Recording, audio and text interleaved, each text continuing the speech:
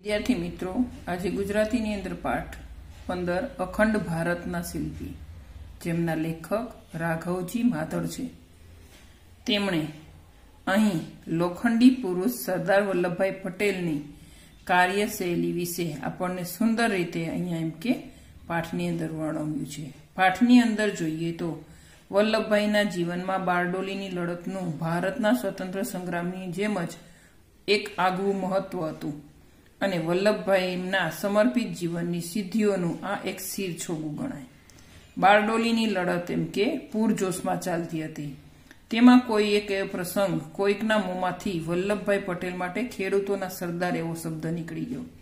તરત જ ગાંધીજીએ એ પોતે ઉપાડી લીધો અને ગાંધીજીને જ્યારે સરદાર વલ્લભભાઈએ પટેલે એમ કે ભાષણ આપવાની શરૂઆત કરી, ત્યારે તેમણે સરદાર વલ્લભભાઈ પટેલને એમ કે સરદારનું બિરુદ આપ્યું. કહેવાનો મતલબ એ છે કે ખેડૂતો દ્વારા એમ કે તેમને સરદારનું બિરુદ મળ્યું હતું અને ગાંધીજીએ તેમને માનપૂર્વક આપ્યું. વલ્લભભાઈનો જન્મ એ કે અને મોસાળ નડિયાદ. તારીખ એકત્રીસ દસ અઢારસો ને પંચોતેરમાં તેમનો જન્મ થયો. તેમનું વતન ખેડા જિલ્લાનું કરમસદ. પિતા ઝવેરભાઈ કે સામાન્ય ખેડૂત હતા. દ્રઢતા, દેશભક્તિ એમને નસે નસમાં હતી. રાણી લક્ષ્મીબાઈના લક્ષણમાં લશ્કરની અંદર એમણે એમ કે અંગ્રેજી સરકાર સામે તેમના પિતાએ અઢારસો ને સત્તાવનના સંગ્રામમાં એમ કે લડ્યા હતા. ખેડૂત પુત્રે કે નાનપણમાં જ જીવનને કે ઝીણી નજરે જોયેલું અને પોતાની ઓછપ અને અધૂરપને તેઓએ અનુભવી હતી. ગાંધીજીએ કહ્યું હતું કે ખેતરમાં પડસેવો પાડનાર ખેડૂતોનું જીવન સાચું જીવન છે.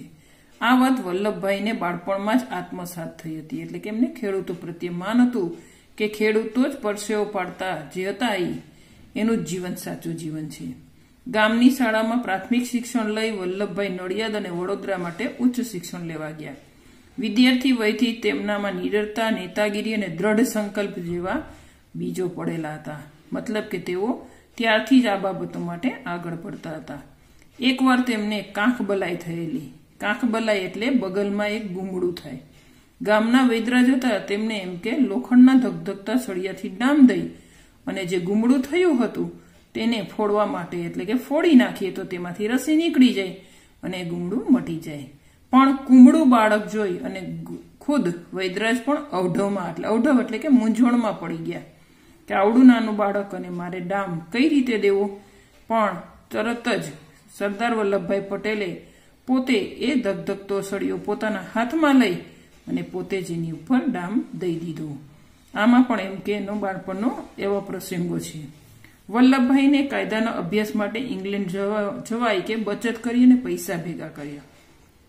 પણ પોતાના મોટા ભાઈ, જે વલ્લભભાઈના ભાઈ છે, વિઠ્ઠલભાઈ, એમને લંડન જવા માટે તેઓ એ ભાતૃભાવનું ઉત્તમ ઉદાહરણ આપ્યું કે પોતે ભેગા કરેલા જે પોતાના ભણતર માટે, અભ્યાસ માટે જે પૈસા ભેગા કર્યા હતા તે તેમણે એમ કે પોતાના ભાઈને આપી દીધા. કહેવાનો મતલબ એ છે કે પોતે વલ્લભભાઈ એમ કે ભાતૃભાવનો પણ એક ઉત્તમ ઉદાહરણ છે. વલ્લભભાઈ સખત પરિશ્રમ અને બુદ્ધિ ચાતુર્યથી એક સફળ વકીલ અને બન્યા હતા. કોર્ટની કાર્યવાહીમાં તેઓ વ્યસ્ત હતા ત્યારે તેમને એક તાર મળ્યો. તાર વાંચીને કોઈ પણ પ્રતિક્રિયા વગર એમણે એક તારને ખિસ્સામાં મૂકી દીધો. પછી જ્યારે કોર્ટની કાર્યવાહી પૂરી થઈ, ત્યારે તેમના મિત્રએ એને પૂછ્યું, મિસ્ટર પટેલ, શાનો એ કે તાર આવ્યો છે એ કે? વલ્લભભાઈએ ધીમેથી જણાવ્યું કે, મારા પત્નીનું અવસાન થયું છે. આમ લાગણીને વશ થયા વગર તેમણે, તેઓ હંમેશા પોતાની ફરજને માટે અડગ રહેતા. આમ તો દૂરથી જોનારાને વલ્લભભાઈનું વ્યક્તિત્વ એકદમ વૃક્ષ લાગતું.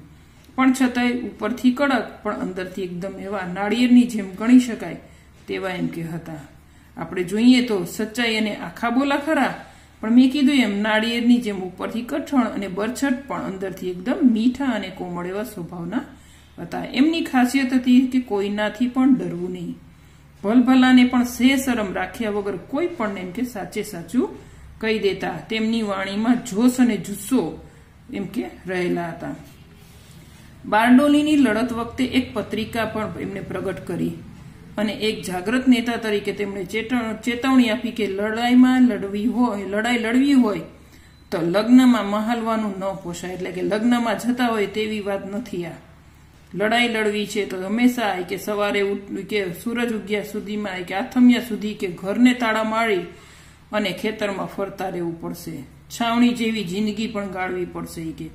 જો તમે એક રાગ કે થઈ અને એક ખોડીએ પ્રાણ થઈ શકશો તો જ તમે એમ કે આ લડત લડી શકશો. આપણા હાથેથી એક દમડી પણ આપણે સરકારને આપવી નથી. એવો નિશ્ચય જો તમે રાખશો, તો જ કે તમે આગળ વધી શકશો. વલ્લભભાઈની વીર વીર હતા એટલા જ વિનોદી પણ હતા. એક વખત એને મહાદેવભાઈની ડાયરીમાં એક સરસ મજાનો પ્રસંગ લખ્યો. અને તેમણે લખ્યું હતું, રચનાત્મક ગફલત. એ રચનાત્મક ગફલત એટલે વળી શું? મહાદેવભાઈથી પૂછાઈ ગયું. ત્યારે મહાદેવભાઈને તેમણે સરસ મજાની બિરબલની છઠ્ઠાથી જવાબ આપ્યો કે તમે ન સમજ્યા, આજે તમે જે દાળ બનાવી હતી ને, તેવી દાજેલી દાળ. કહેવાનો મતલબ એ હતો કે તેમણે એમ કીધું કે ખરેખર તમે જે મને દાળ દાજેલી ખવડાવી ને, એવી કે દાળ જેવી આ વાત છે કે. વલ્લભભાઈને જેલ યાત્રા પણ વેઠી હતી. દાંડી યાત્રામાં પાંચ દિવસ પહેલા એમ કે સાત માર્ચના રોજ અંગ્રેજ સરકારે કે રાસ ગામમાંથી તેમની ધરપકડ કરી અને અમદાવાદની સાબરમતી સેન્ટ્રલ જેલમાં એમને રાખવામાં આવ્યા. એ વખતે જેલમાં સજા ભોગવી રહેલા આઝાદીના જંગના કેટલા એમ કે ગગનભેદી નારાઓ પણ એ દિવાલોને ગજવી મૂકતા હતા. ધરપકડના ત્રીજા દિવસે મહાદેવભાઈ અને આચાર્ય કૃપલાણીજી સરદારને મળવા જેલમાં ગયા અને એ વખતે થયેલી પ્રશ્નોત્તરીના થોડા અંશો જોઈએ. તમને કે કેવી કેવી રીતે રાખે છે? તો કે ચોર લૂંટારાઓની જેમ. સુવા માટે તો કે એક કામડો અને ઉપર ઓઢો અથવા તો આડોટો એની ઉપર કે.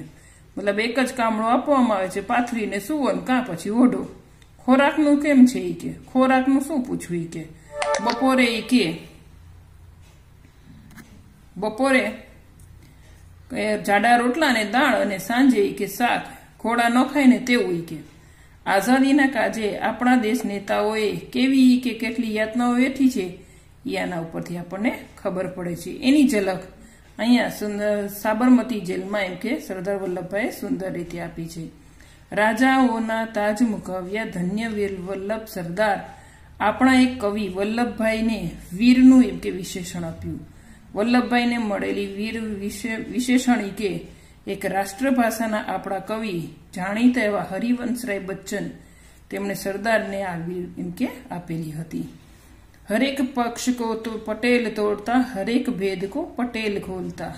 દુરાવ્યા છુપાવશે ઈસે ગરજ હો, કઠોર નગ્ન સત્ય પટેલ. હિન્દ કી નીડર જબાને. મતલબ કે કોઈ પણ બાબત સત્ય હોય, કંઈ પણ હોય, તો પણ હંમેશા એ ગમે તેવું હોય, પણ સત્ય બોલવા માટે હંમેશા સરદાર આગ્રહી રહેતા. સરદારની જન સમુદાયની નાળમાં ના ભારે એમ કે પાળખો હતા. લોકોની વચ્ચે એમ કે જબરદસ્ત એમને પકડ હતી. એ લોકોને સારામાં સારી રીતે ઓળખી શકતા. એમની પાસે બુદ્ધિ ચાતુરી હતું.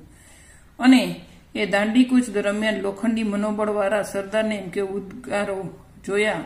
હવે એક ધર્મ યુદ્ધ એમ કે ખેલવાનું હતું દુનિયાને પહેલા ક્યારેય નહીં જોયું હોય તેવું કે, ગુજરાતીઓને ટકોર મારી દઉં કે મૃત્યુનો ભય હોય તો જાત્રાએ જતા રહ્યો. પૈસા હોય તે પાલવે એમ હોય તો દેશ પલાયન કરો. પણ સાચો એ કે ગુજરાતી હશે તો એ સ્વતંત્રના ઇતિહાસમાં પહેલું પાનું લખી અને મહાયુદ્ધમાં મંડાણ કરશે એ કે. સરદાર એટલે એ કે આપણા દેશની ત્રિમૂર્તિ, ગાંધી, સરદાર અને જવાહરલાલ નેહરુ. એ ત્રણેય એક મૂર્તિ હતી. એ યુગના એ કે એ ત્રણેય પ્રખર દેશભક્ત. ગાંધીજીને આત્મ સત્યને આરાધ્યું. જ્યારે સરદારે પાવિત્ર્ય અને નહેરુએ હંમેશા સૌંદર્યનો મહિમાગાન કર્યો.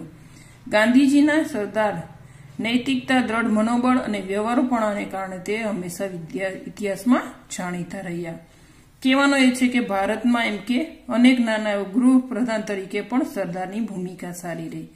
ભારતના અનેક નાના મોટા દેશી રજવાડાઓને એકત્રિત કરવાનું કામ પણ એમણે ગાંધીજીએ એમના સિરે સોંપી દીધું. ખૂબ મુશ્કેલીઓ એમ કે એમને કરી, પણ કુનેપૂર્વક એ કાર્ય પણ પાર પાડ્યું. તમામ રાજ્યોને લોકશાહી સરકારોના માળખામાં એમ કે પોતે રાજાશાહી નાબૂદ કરાવી અને દરેકને એક અખંડ ભારત એમ કે પોતે બનાવ્યા. તેથી તેઓ અખંડ ભારતના શિલ્પી તરીકે ઓળખાય છે. વિનોબા લખે છે કે સરદાર સ્પષ્ટ બોલતા પ્રહાર કરતા ડરતા નહીં ગમે તેને ગમે તે વસ્તુઓ સમજાવી અને કહી દેતા. ગાંધીજીના અંગત સચિવ મહાદેવભાઈએ તો એમ પણ લખ્યું છે કે ખેડૂતોની ભાષામાં બોલતા અને આંખોમાં અંગારા હોય તેવી ચમક એમના માટે જોવા મળતી. ગાંધીજી સરદાર વિશે આત્મછૂપો સ્વરૂપ કે છે કે સરદારની સુરવીરતા જ્વલંત દેશદાસ ધૈર્ય અને તમે એનાથી તો અજાણ નહીં હોય, પણ પ્રેમથી તરબોળ કરી દે તેવો માતૃપ્રેમ પણ એ ગાંધીજી માટે વરસાવતા. અને તેમનું તેમને પણ સ્મરણ હતું કે એક માતાની રીતે પણ એ ગાંધીજીની બીમારી વખતે વલ્લભભાઈ એને સાચવતા. વલ્લભભાઈના જીવનની અંદર સાદું જીવન અને ઉચ્ચ વિચાર જ એમનું જીવન મંત્ર હતો. સરદાર વલ્લભભાઈની પુત્રી મણિબહેન એમ કે એમના વારસામાં એમને આ બધું જ મળ્યું હતું. એમની દીકરીનું નામ હતું મણિબહેન અને ઉત્તરકાળથી જ મણિબહેન પણ પિતાની, એમ કે ઓલખની સેવા કરી હતી. મણિબેનમાં પણ સાદગી અને થીગડું મારેલી સાડી પહેરવામાં પણ શરમાતા નહીં. આવા જ અખંડ ભારતના શિલ્પી એવા સરદાર વલ્લભભાઈ પટેલનું પંદર બાર ઓગણીસો પચાસના રોજ અવસાન થયું. ચરોતરના એક નાનકડા ગામમાં એમને જન્મી અને છેક અત્યાર સુધી નાયબ વડાપ્રધાન તરીકે, ગૃહમંત્રી તરીકે પણ સેવા આપનાર એવા સરદાર વલ્લભભાઈ પટેલને આપણા લાખ લાખ વંદન. તો તમને આ પાઠ સુંદર રીતે સમજાઈ ગયો હશે.